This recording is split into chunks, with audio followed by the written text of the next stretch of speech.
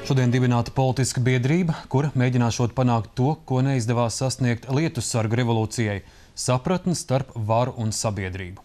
Šovakar bijusī laikraksta diena galvenā redaktors Armīta Tēlērta kopā ar domu biedriem dibināja Meirovica biedrību par progresīvām pārmaiņām. Vairāk Lauras Vondas sižetā. Es kaut kur lasīju, ka uh, zinātnieki ir atklājuši, ka uh, civilizācija netik sen saprata uh, tikai pirms dažiem tūkstošiem gadu, kāda ir sakarība starp dzimumu aktu un dzemdībām. Agrāk viņi, viņi nebija aizdomājušies līdz tam, ka ir deviņi mēneši starpā, tam ir kaut kāds sakars tiem abiem notikumiem. Tāpat, kamēr, kamēr latviešu vēlētāji nespratīs, kāds sakars ir starp vēlēšanām un to dzīves līmeni, tikmēr jau nemainīsies nekas.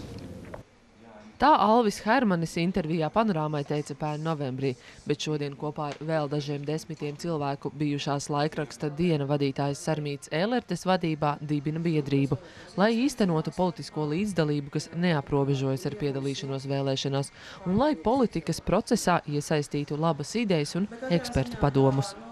Bieži ir tā, ka cilvēkiem ir labas idejas, bet viņas kaut kā nenonāk tajā politiskajā procesā. Un tad cilvēki paliek dusmīgi, un savukārt politiķi saka pašvainīgi, kāpēc jūs mums nepiegādājat perfekts priekšlikumus. LRT uzsver, Meirovice biedrība netiek dibināta, lai piedalītos vēlēšanās, un tā nav parteiska.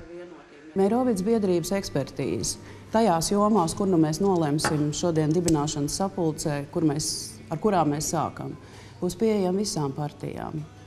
Uh, savukārt tas, vai kādi cilvēki, piemēram, konkrēti es, uh, nolems piedalīties politikā, tā būs individuāla izvēle.